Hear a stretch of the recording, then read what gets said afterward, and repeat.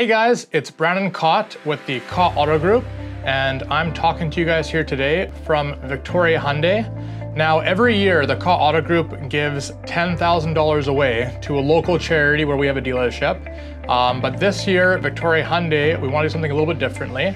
Um, last year we gave $10,000 to the Mustard Seed Foundation, but this year uh, we're new. We're, we're the new guys in town. We're the new guys on the block. We want to hear from the people in Victoria. We want to hear from the community in the surrounding areas. We want you guys to help us decide where we should give this money and uh, where we should put it to a good cause for. So um, please comment below, like, uh, feel free to email me directly at brandonkot at kotautogroup.com.